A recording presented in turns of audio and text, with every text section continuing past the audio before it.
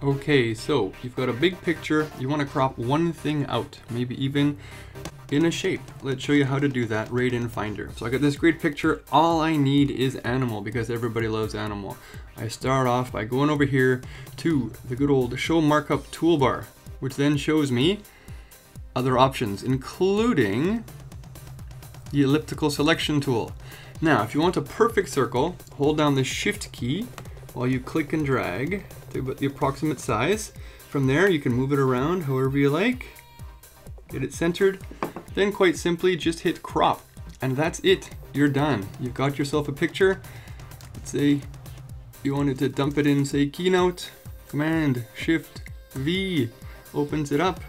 And my next addition to this slide would be a new PNG that I've created with good old animal. As simple as that. Hope you enjoyed it. Thanks for watching. Don't forget, head over to giveitaway.net right now to get access to some great new educational technology resources.